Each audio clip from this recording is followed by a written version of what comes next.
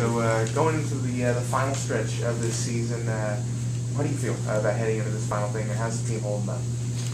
It's been a tough year. It's really been a it's been a struggle to get everybody on the same page at the same time. Um, yeah, it's, it's certainly been tough that way.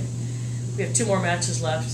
Um, we'd love to send our seniors off in the right way, and um, they're two pretty tough matches. These these next two teams are tied for second place in the conference, and, and you know it'll be quite a challenge for us. But I, I, I fully believe that we can compete and, and beat any team in the conference. You know, we got to play at our best.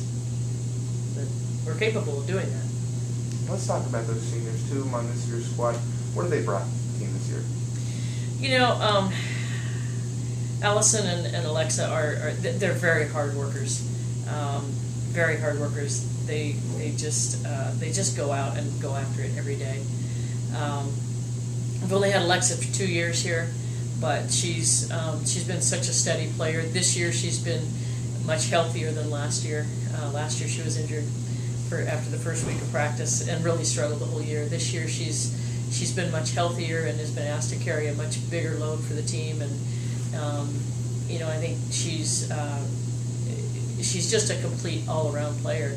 You know, and, and she's uh, she's a great teammate and uh, it's really been a, a, joy to coach, you know, and be around. So, um, Allison, this is her actually her fifth season with us. She redshirted her freshman year, and um, you know she's she's taken some pretty big strides, and you know which for a six-two person that's easy to do, but but she. Um, she is uh, she's moved up the ranks in blocking for our uh, our career blocking statistics. She's number two now, tied for number two, and, and I'm sure she'll she'll um, get some blocks this weekend. And I don't know if she'll be able to get up to number one, but um, you know that's kind of a testament to how hard she works. She's um, you know, she physically she's really been struggling too and staying healthy, and with a lot of a lot of issues with knees and you know and, and shoulder and all those things, and you know so. Um, so she's she's really she's trying to just hold it all together coming down the home stretch here. You guys, uh, tough week last week. You know, three games, and so you guys are staying busy. But the last time you were on this home court, you guys won. I guess how much do you use that as a motivational tool uh, in practice?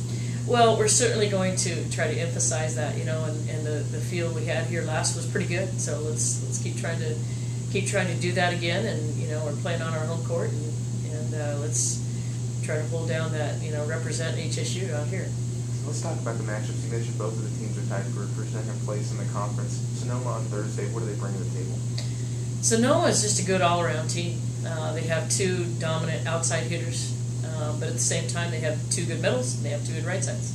Um, they, they play a 6-2. Um, they're just very consistent, steady, uh, and then they let their their outside hitters go up and pound the ball.